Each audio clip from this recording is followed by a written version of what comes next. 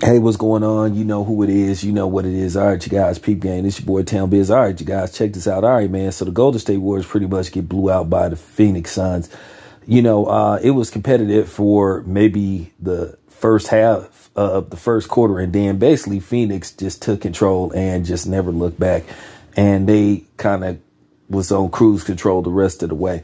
You know, the Warriors, like I told you, they have these these games and you know, sporadically periods in games where they just collapse on defense and they just play lazy defense and you could just see it and you just be like, come on, man, you guys coming off winning the championship.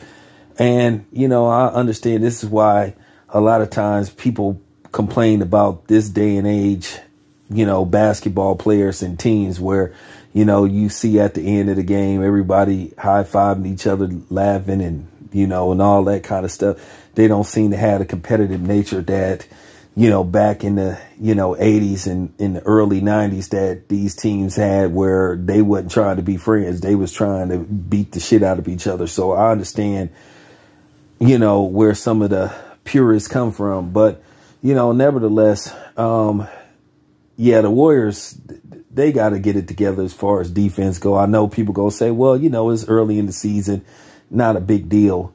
But you know, still you just want to see a better effort, you know, from the Warriors. And, you know, tonight just wasn't a good effort from them. So, you know, that's just pretty much it. But anyway, this your boy Town Biz. I am out.